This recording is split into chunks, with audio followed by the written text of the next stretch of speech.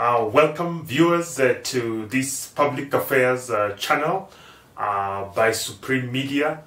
Uh, this will be a weekly uh, forum, a weekly show that we will be delving deeper into some of the trending news in Kenya, Africa, and beyond.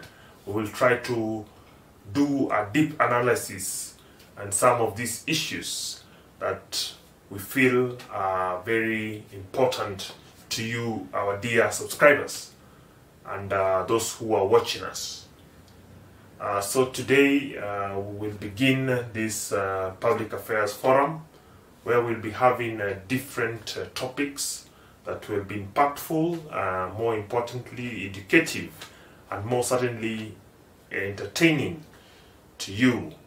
So today we will begin one of the topics that has been on the news this week uh, is the dialogue uh, between uh, the Azimio uh, coalition and uh, the Kenya Kwanza uh, following the demonstration that have been happening, which aside this year, and now they have decided to have a bipartisan talks to try and uh, resolve some of the issues that uh, have made uh, uh, the opposition coalition, that is Azimio, to have uh, protests more, more so that have left many lives lost and property and all that. So this past week, the president and the opposition leader Raila Odinga met secretly, and uh, they decided that they would give dialogue a chance. So each party has nominated five names, and uh, already the process has already begun. And uh, each side has their leader who will be in charge of uh, leading uh, the negotiation. Uh, the Azimio coalition have selected former vice president uh, Kalonzo Musyoka, and uh, the Kenya Kwanza will be led by majority leader Kimani eh, Chungwa.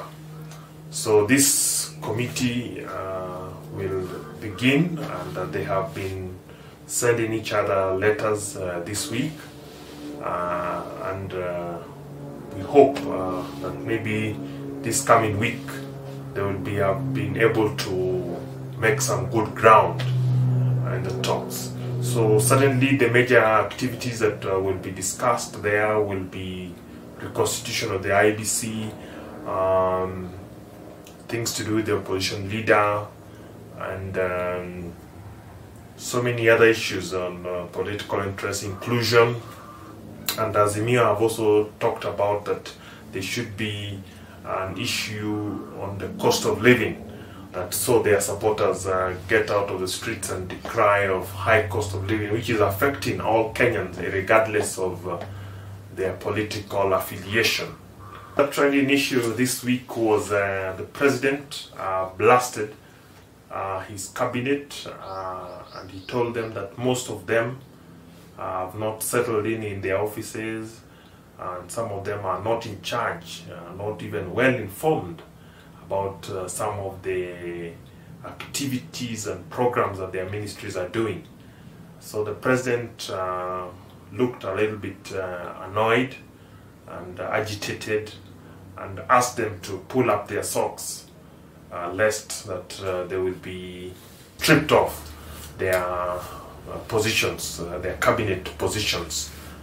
So uh, this issue is, um, is a- is a very big issue.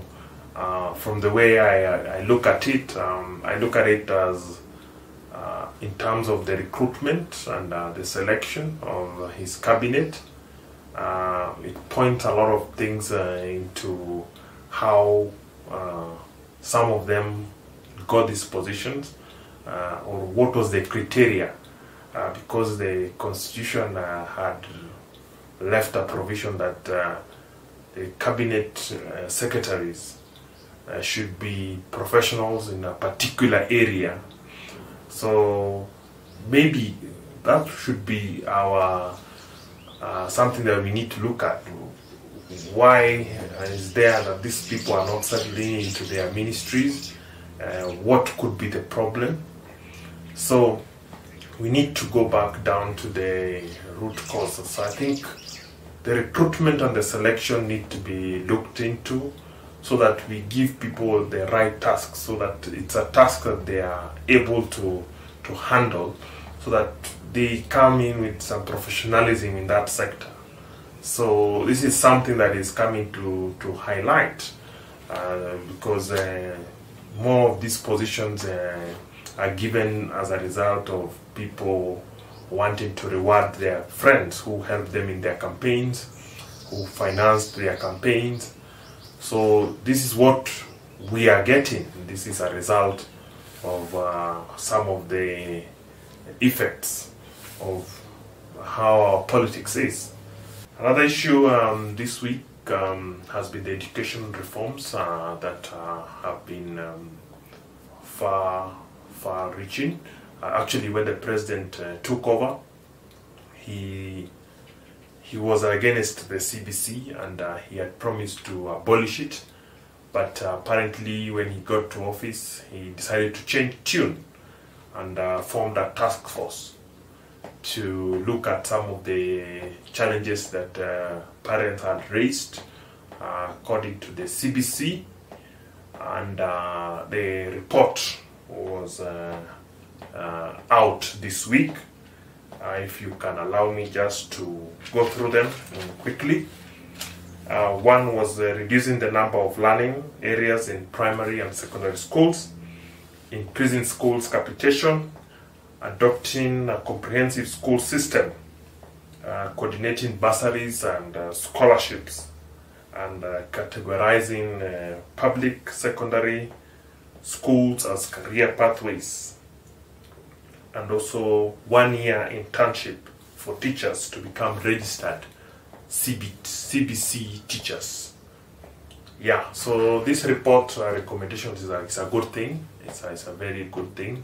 So we look forward uh, to the implementation of uh, this CBC because it's a new curriculum uh, that uh, the country is adopting and uh, it is good that these issues implemented so that the potential of children, learners is now fully exploited and the children are able to learn in a very good environment that allows them to allows them to thrive or allows them to be their best because that's what the CBC is all about.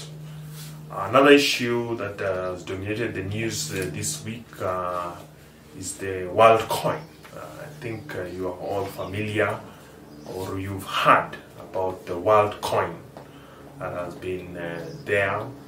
So it had it has reached the parliament, and uh, parliament uh, was discussing this issue, and they were asking very hard questions to the minister of uh, information communication and technology and the Minister of uh, in Interior and National Security about how these people are collecting uh, sensitive information about Kenyans without proper arrangements in the law.